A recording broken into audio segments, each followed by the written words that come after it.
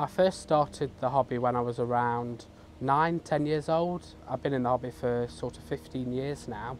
I was quite into go visiting the koi shows when I was younger.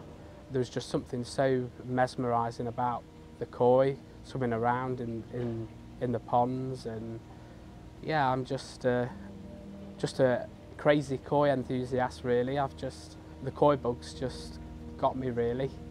Yeah, so my dad started off the pond that we've got behind me now.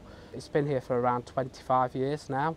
And then when my dad was looking after the pond, there was just a, a mixture of ornamental fish. So there was um, Israeli koi, there was like golden tench, there was just just an average pond fish. And then when I went to a koi show, everything changed. I was just blown away with these massive koi swimming around in a koi vat.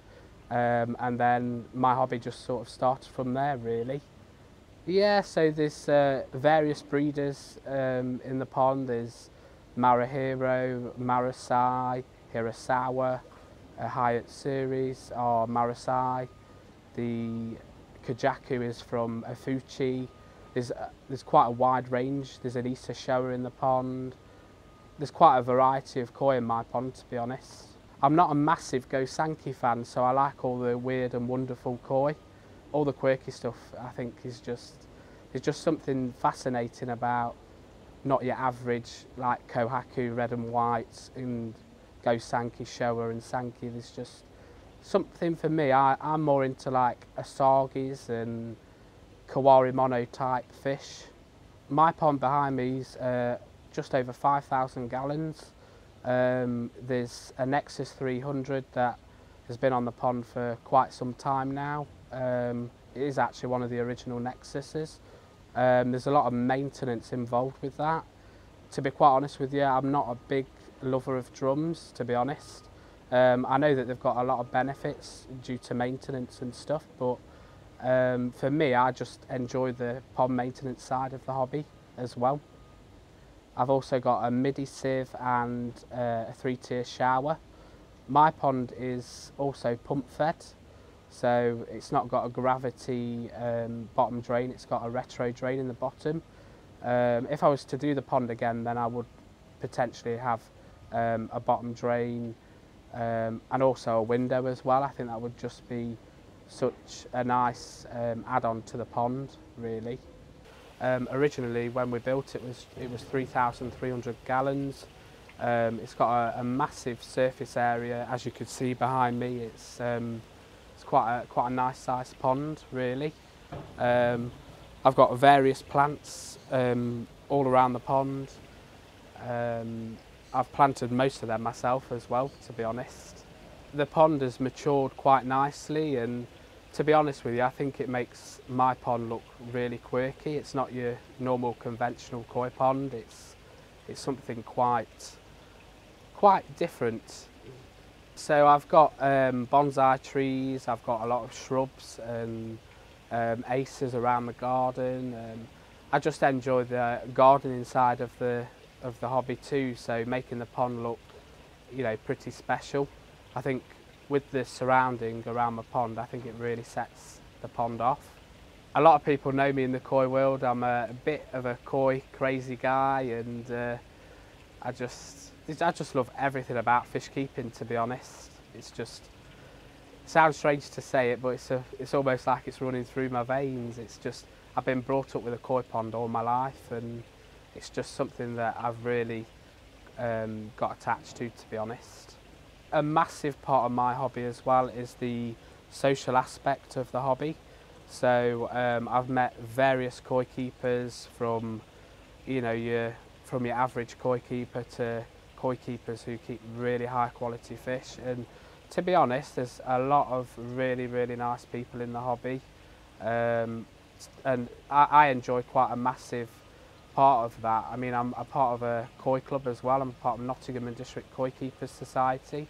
Um, and I think that adds on so much um, so much to a koi keeper really because um, joining a koi hobby there's a lot of advice there from experienced hobbyists um, I just think it's brilliant. You get to go on loads of pond visits and see loads of koi dealers around the country. It's just a brilliant part of the hobby, and especially in summer with the barbecues. I mean, look at the ginrin on that. It's a, a beautiful little ginrin chagoi. Um, this was from quite a local koi dealer um, in Derby, to be quite honest with you. Um, it was from uh, First for Koi in Derby. I brought this at the, later on uh, in the year, last year, sort of August time. Absolutely stunning. The um, I'll show you the I will show you the actual ginrin out of the water.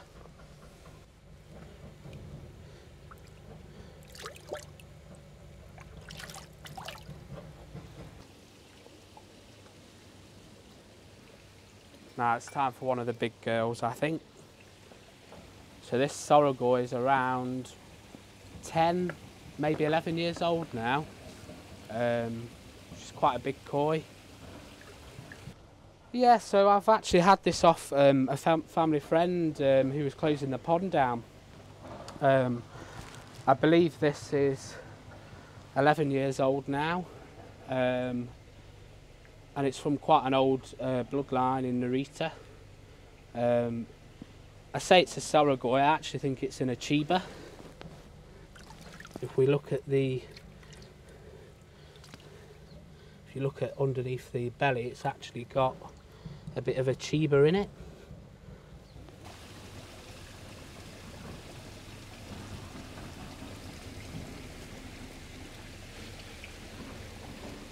This is a bit of a jumper, this one. So we've got to be a bit careful with this one. I mean, look at the uh, the fukurin on that. It's absolutely stunning. This is a koi that I had late last year. This is from Marusai. Look at that, it's absolutely stunning.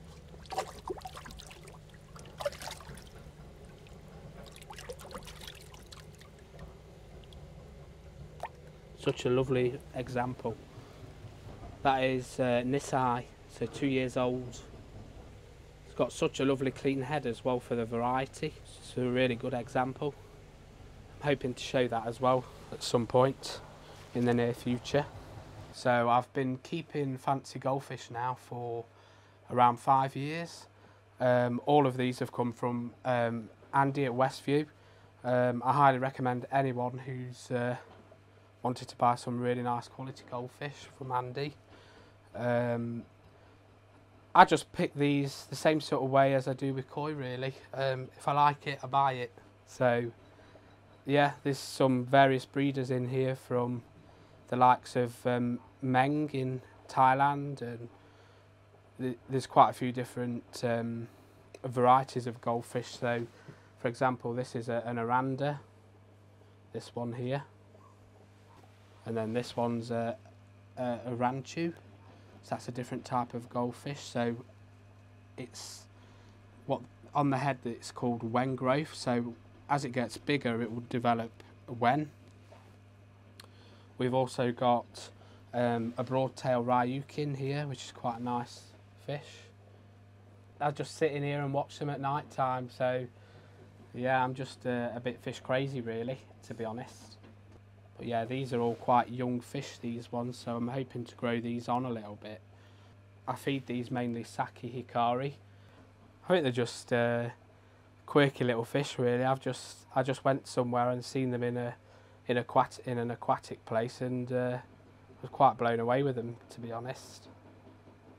There's a lot that can potentially go wrong with koi keeping and I think if I'm being quite honest it might be worth joining a koi club um, or even um, speaking to experienced hobbyists that have been in the hobby for such a long time because um, all the help that you'll need, I mean there's a lot of koi forums out there that are willing to help people, um, you know there's a lot of people in the koi community across all platforms, YouTube and stuff who have been doing it for such a long time. Um, I just think it would be really really good for, for someone to get some advice from someone to start off with. Um, the worst thing you can do is go out and buy a load of koi for your pond that's not even got a mature filter because that's just a disaster waiting to happen. Um, I would take it very slow and steady. Um, I would add fish gradually over the course of probably a couple of months. Um, and I wouldn't go too um, chaotic buying fish, so I wouldn't buy loads of koi to start off with because there is seriously a lot of things that could go wrong um, in this hobby. And my advice to a new koi keeper is definitely to do research.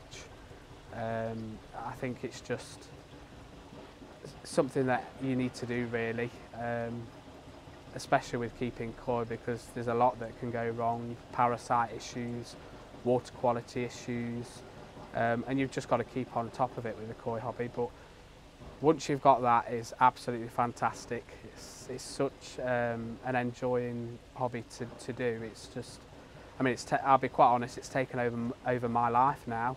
So um, it's a big part of who I am. So I, I just love everything about koi keeping and um, Koi Talk magazine I think is absolutely fantastic. Um, I'm quite a big follower of uh, Koi Wholesale, Ricky and Chris and I think what the guys are doing um, for the hobby is, is amazing to be honest. I think it's going to push the hobby into um, well into the modern world. I think if I'm being honest with you, the, the hobby's kind of stuck. Having a magazine back in print again is really really good for the hobby, and I think I think it's going to help push things forwards. To be honest, um, we used to have a magazine quite a few years ago called the Koi Mag, and a lot of people used to enjoy reading that on a monthly basis. And I just think it's brilliant. Um, to be honest, I think it's just going to help so many people out in the hobby, and there's a lot of really good advice in it. Um, and who doesn't like a magazine with pictures of koi? It's absolutely brilliant.